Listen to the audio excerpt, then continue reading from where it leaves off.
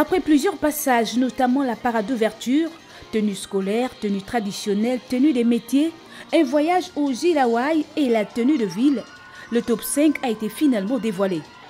C'est la candidate numéro 4, Chérie Boissa, qui remporte la couronne. Je suis euh, stagiaire au centre de formation professionnelle Basile Ondimba. Je suis en deuxième année d'électromécanique et je suis aussi mannequin. Être mise, c'était mon rêve et je pense que je vais me battre pour emmener la, couronne au pays en fait. Elle est suivie de quatre dauphines, Thérèse Dalila Aito, Prisla Mapio, Mazarine Moussavou et Abang Doli Parton, qui sont également sortis du lot grâce au vote du public et ceux du jury. On notait essentiellement la prestance, l'éloquence. Le projet, il a, compté pour beaucoup. Et aussi, ce qu'il faut savoir, c'est que les filles n'étaient pas notées que ce soir.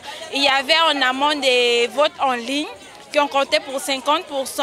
Ce soir, les votes euh, des membres du jury ont compté également pour 50%. C'est donc la somme de ces votes-là qui ont fait en sorte que la candidate numéro 4 soit élue ce soir. Véritable voyage au cours de cette aventure au royaume de Miss African University of the World.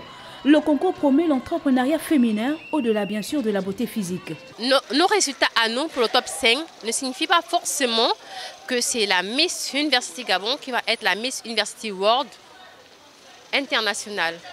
Elles sont toutes au même niveau lorsqu'elles vont compétir pour la grande finale internationale. On, on s'est dit, au lieu de choisir juste 5 candidates pour Miss University World, on va choisir trois autres candidates du top 10 pour trois autres concours à l'international puisque c'est toujours le Gabon qui gagne. Pour la grande finale, les dates ne sont pas encore connues, mais selon les organisateurs, le concours devrait se tenir entre les mois de novembre et décembre 2024.